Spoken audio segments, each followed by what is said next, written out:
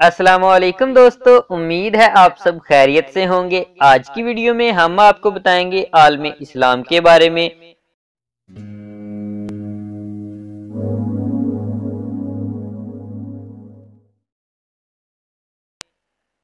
دنیا بھر میں اسلامی ممالک کی تعداد ستاون ہے۔ دنیا بھر میں مسلمانوں کی آبادی تقریباً ایک ارب پچاس کروڑ ہے۔ عالم اسلام کا مجموعی رقبہ تقریباً نو کروڑ مربع میل ہے۔ اسلامی ممالک کے پاس پیٹرولیم کے ذخائر انہتر فیصد ہیں۔ اسلامی ممالک کے پاس پٹسن کی کل پیداوار بانوے فیصد ہے۔ اسلامی ممالک کے پاس دنیا بھر کے وسائل اور معدنیات پینتیس فیصد ہیں۔ واحد اسلامی ملک جس کے دو دارالحکومت ہیں، لیبیا ہے، ترپولی اور ترابلس واحد اسلامی ملک جو ایشیا اور یورپ دونوں بریازموں میں واقع ہے، ترکی ہے۔ رقبے کے لحاظ سے دنیا کا سب سے بڑا اسلامی ملک کازکستان ہے۔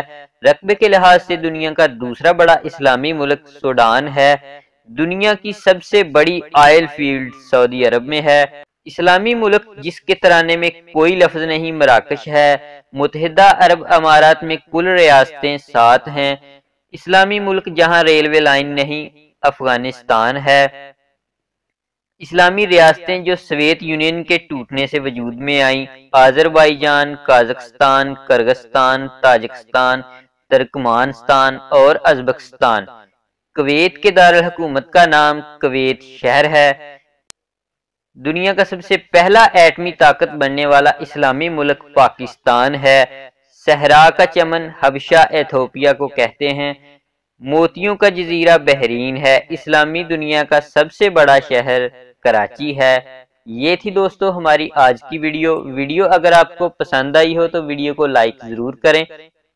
اور اگر آپ چینل پر نئے ہیں تو ہمارے چینل فراز ٹی وی کو سبسکرائب ضرور کریں ایسی ہی معلومات سے ریلیٹڈ ویڈیوز دیکھنے کے لیے۔ اپنا اور اپنے ارد گرد کے لوگوں کا خیال رکھیں۔ ملتے ہیں ایک نئی ویڈیو کے ساتھ۔ اللہ حافظ۔